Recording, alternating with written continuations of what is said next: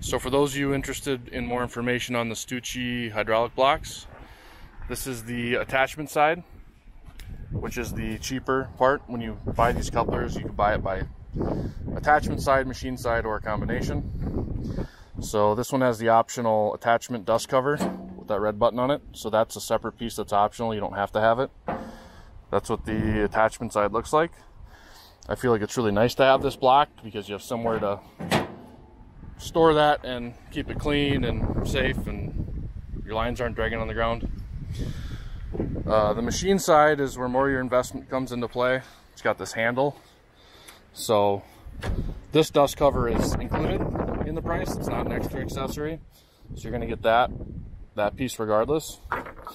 And then this locking handle is your main investment in the system and that's where your uh, attachment side is going to connect, just like that other video I made.